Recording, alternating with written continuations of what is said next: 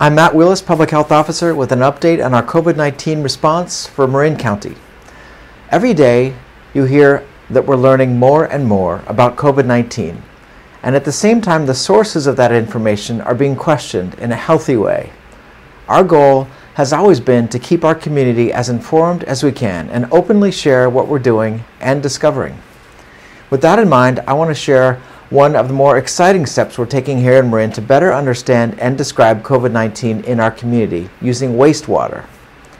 Marin County Public Health has partnered with local sanitary agencies and the University of California at Berkeley to do regular sampling of water supplies in Marin County for COVID 19 outbreak surveillance. When someone's infected with COVID 19, in addition to the usual respiratory symptoms, the virus also travels into our gastrointestinal tract and some amount ends up passing into the toilet. This is not a major mode of infection from one person to another, which is mostly through the air, but it means we can test water supplies to see how much virus is present in whole communities based on virus levels in sewage. This is proving to be an effective way of detecting outbreaks in other parts of the country and the world, and we're applying it here through a grant.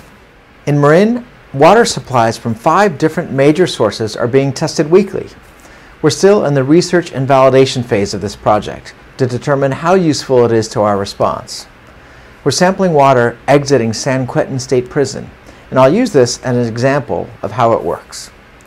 San Quentin has a single water system exiting that complex, essentially a big pipe which carries waste to the treatment facility in San Rafael.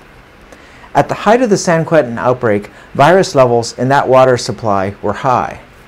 As the curve flattened and the outbreak resolved over the past weeks in San Quentin, those levels have declined, and now very little virus is now detected in that water supply.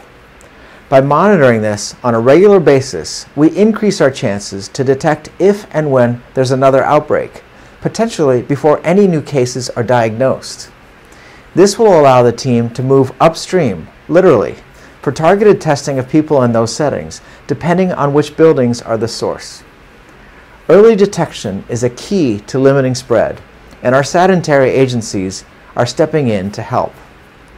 We get reports weekly from the five areas of Marin that we're sampling, and it seems to correlate with what we're seeing with our community COVID 19 testing. For example, the percent positivity in the canal area from clinical testing has decreased significantly over the past three weeks. The water sampling from the canal has also shown a corresponding decrease.